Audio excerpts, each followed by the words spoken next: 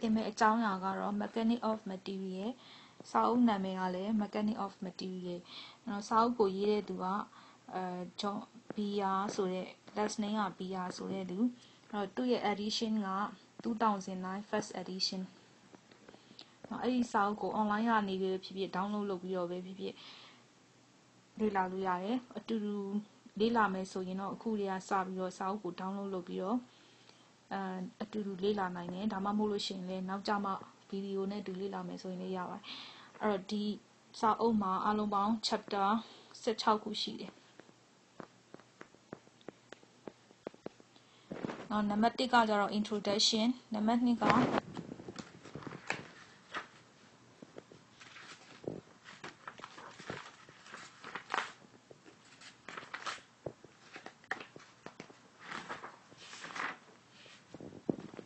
static of particle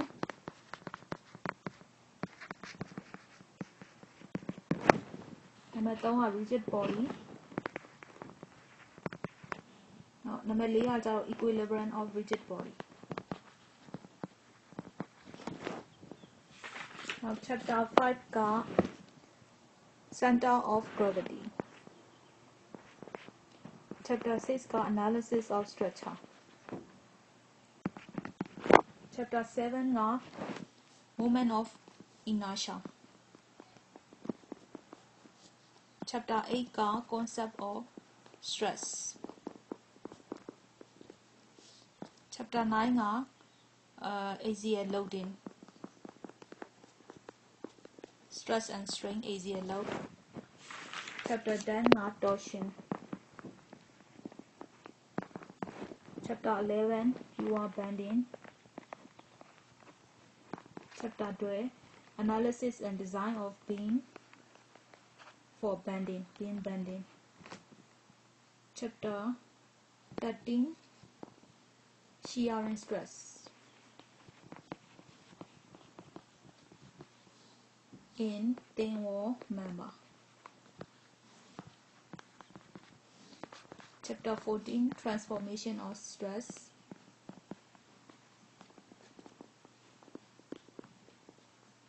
chapter 15 deflection of beams chapter 16 columns အဲ့ chapter 1က introduction မှာဆိုရင်သူက mechanic ဆိုတာဘာလဲဆိုတာကိုရှင်းပြထားတယ် mechanic ရဲ့အတိအကျကကြတော့ဘာတွေလေ့လာလဲဆိုရင်ဟို space ရဲ့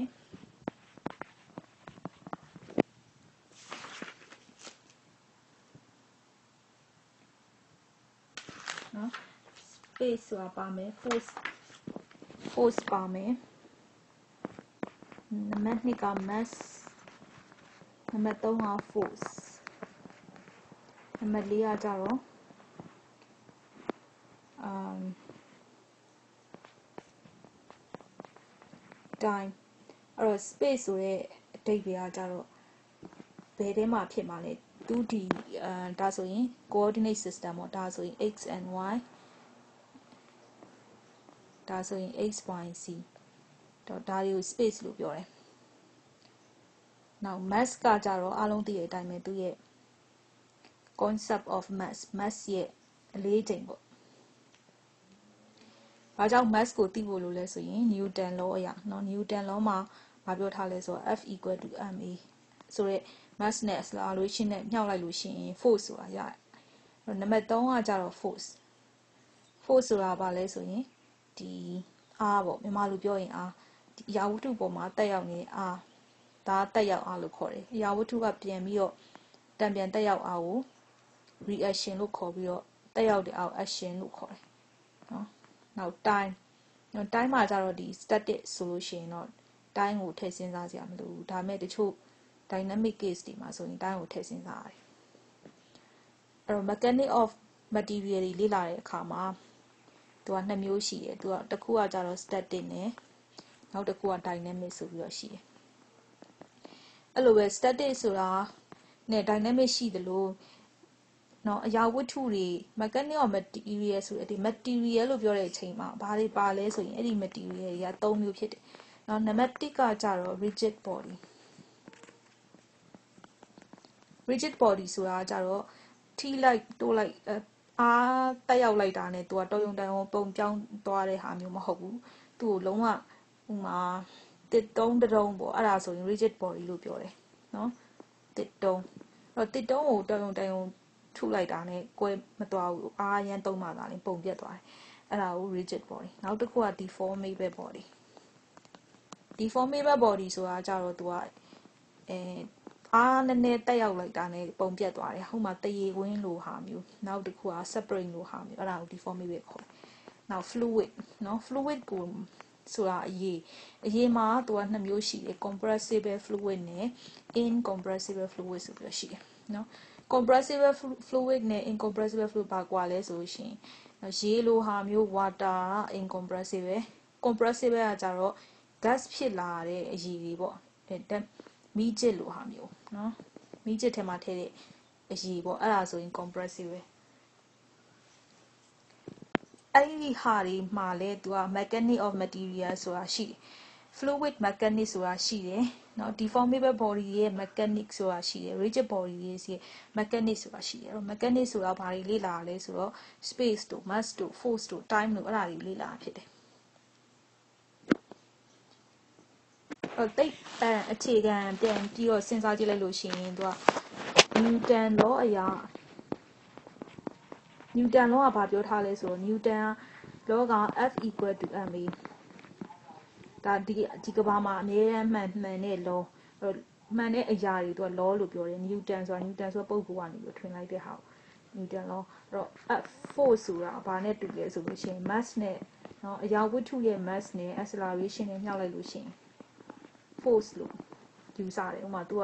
တစ်ပင်တပင်ကနေပြီးတော့ပန်းဒီတစ်လုံးကျွေကြတာကိုအကြောင်းပြပြီးတော့ तू force ဆိုတာကိုတွေးလေတာအဲ့တော့ဒီ rigid body တွေရဲ့ဘယ်ဖြစ်ဖြစ်ဘာ deformable body ပဲဖြစ်ဖြစ် fluid ပဲဖြစ်ဖြစ်လေ့လာတဲ့အခါမှာ Newton law ကိုတည်ထားရမယ်နောက်တစ်ခုကကြတော့တင်ချာမှာသုံးတဲ့เนาะ parallel logarithm law math math ကိုလည်းတည်ထားမယ်အဲ့ math မှာသုံးရမယ့်ဟာတွေကဘာလဲဆိုရင်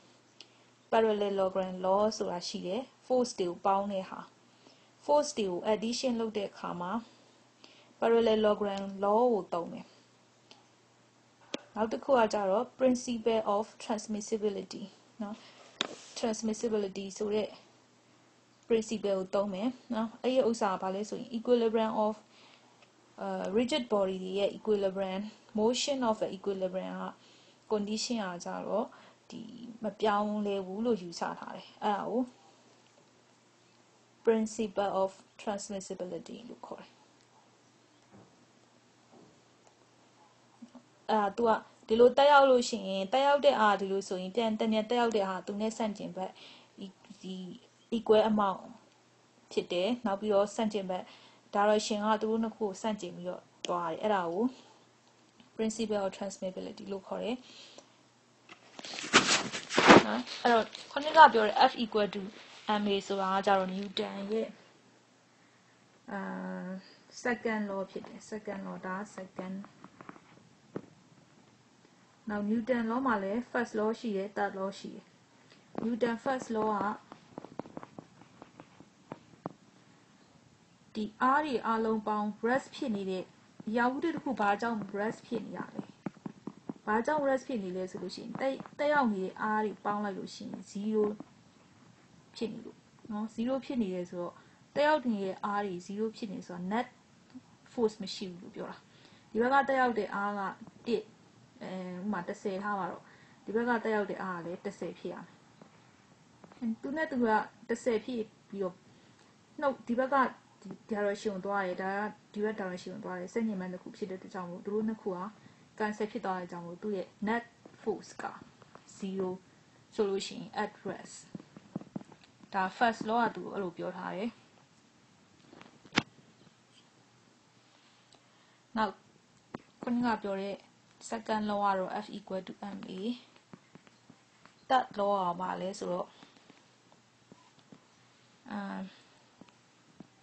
force တွေဟာတဲ့ဒီဒါလေးကဝတ္ထုတစ်ခုဆိုလို့ရှိရင်သူ့ရဲ့ line of action ကအမ် same line of action ရှိရမယ် and opposite direction ရှိရမယ်အဲ့တော့ဒီဟာနဲ့ဆိုရင်ဒါ same line of action ဒါဆိုရင်ရော no this is not a same line ဘာဖြစ်လို့လဲဆိုတော့ orthogonal ဖြစ်နေတယ်ဒါ same line မဟုတ်ဘူးเนาะသူပြောတဲ့ same line ဆိုတာဒီလိုမျိုးဟာမျိုးကိုပြောတာ same line of action က same ထဲမှာရှိနေမယ် opposite direction ရှိမယ် equal magnitude ရှိရမယ်ဆိုတာတတ်လောကပြောတယ်